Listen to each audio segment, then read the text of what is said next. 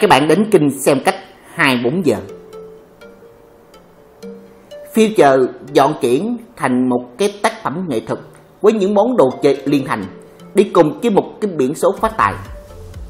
Cái chiếc Future dọn hôm nay, anh em không có những cơ hội được mở mang tầm mắt với những cái bản đồ siêu đỉnh, mà phải chăm trồ về một cái biển là đỉnh khỏi chỉnh của nó. Cái biển số đưa giá trị, cái độ đẳng cấp của chiếc Future dọn lên một cái tầm cao mới danh sách với những món hàng hiệu của chiếc Future hôm nay được mình mở đầu bằng cái cụm thắng của Rainbow SF4 mức giá thị trường khoảng hơn 5 triệu thời điểm hiện nay.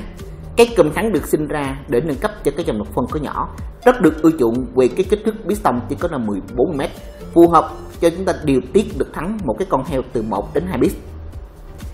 Không giống như những phiên bản Future độ nội trợ khác, cái thứ mà cấp mặt cho vị trí lường giữa phần cách yếm của chiếc xe hôm nay không phải là bạc gà mà là mô sừng MST đi cùng cho lực sừng Holland.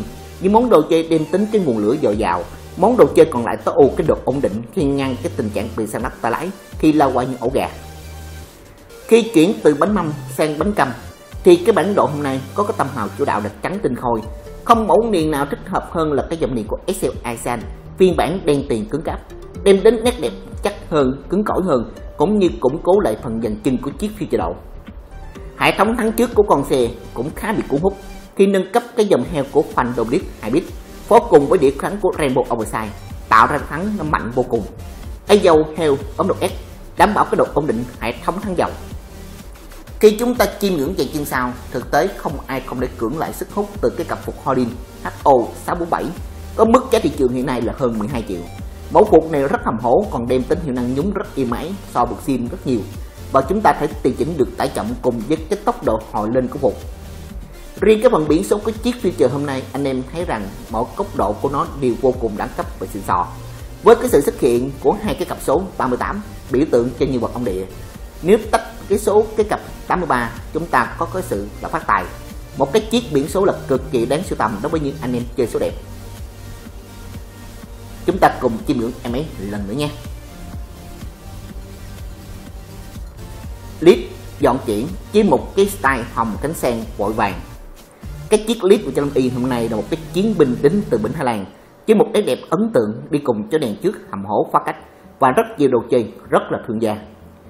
Về mặt tổng thể về áo khoác cho mình cái tông màu hồng đen với nhiều họa tiết xám thể thao hơn. Không chỉ là tác động nhiều vào cái phần trên người chủ của chiếc clip hôm nay, còn hướng tới những lọt đồ chơi cho dàn chân.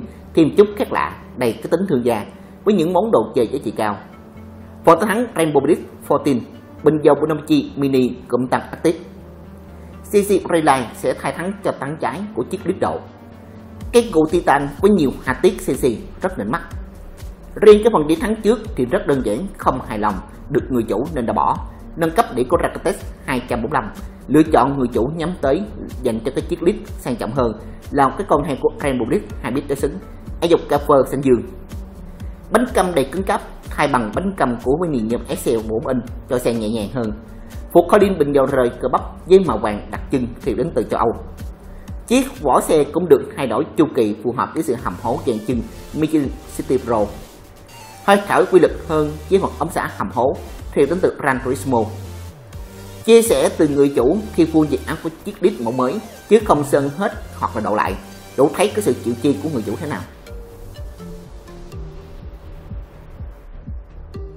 Cảm ơn các bạn theo dõi clip này. Hãy chia tiếp nhớ like, subscribe.